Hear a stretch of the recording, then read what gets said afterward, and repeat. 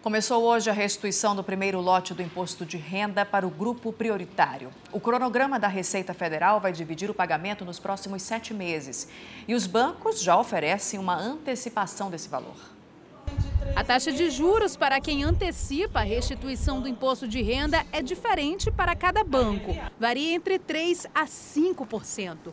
Essa especialista em educação financeira orienta a acionar os bancos em busca desse adiantamento em apenas uma hipótese.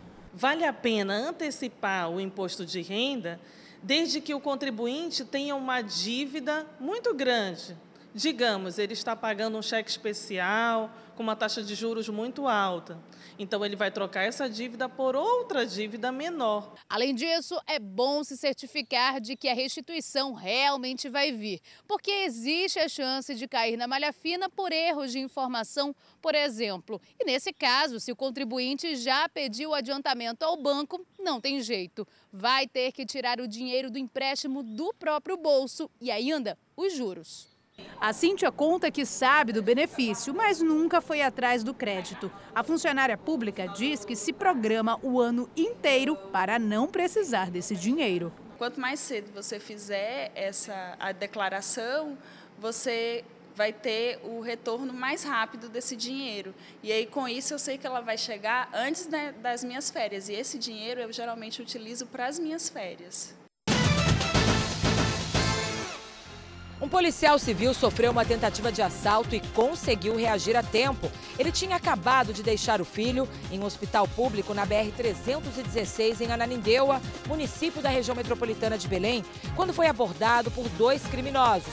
Um deles fugiu, o outro correu para dentro da unidade e fingiu ser paciente, mas logo foi reconhecido pelo investigador e preso.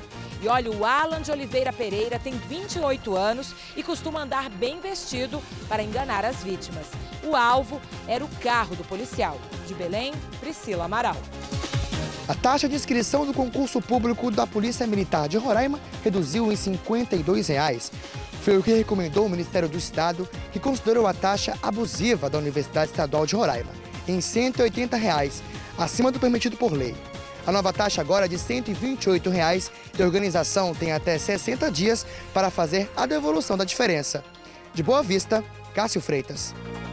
Em Manaus será realizado no Centro de Convivência da Família uma ação com oferecimento de serviços de saúde, como aferição de pressão arterial, exames de vista, preventivos, entre outros. Também serão distribuídos kits de higiene bucal.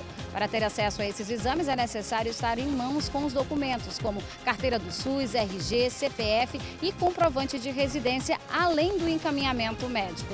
De Manaus, Elisângela Araújo.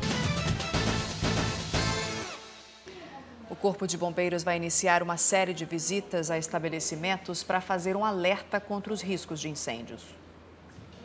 A semana de prevenção contra incêndios e controle de pânico vai começar na próxima segunda e vai até sexta-feira. 20 bombeiros vão percorrer estabelecimentos comerciais para verificar extintores, saídas de emergência e outros itens de segurança. Não há um intuito de prejudicar ou de multar qualquer comércio ou qualquer situação. Ao contrário, nós estamos prontos para recebê-los, orientá-los da melhor forma. Ano passado foram registrados quase 900 incêndios em Manaus. Pelo menos 50 foram em empresas de pequeno, médio ou grande porte. O alvo desta primeira ação vai ser o centro comercial do bairro Manoa, Zona Norte. Os empresários que, após a visita, quiserem obter o auto de aprovação do Corpo de Bombeiros devem ir ao Comando Geral no bairro Petrópolis. Além de se regularizar conforme a legislação, que ele tenha a edificação segura para ele, para os seus funcionários e principalmente para os seus clientes.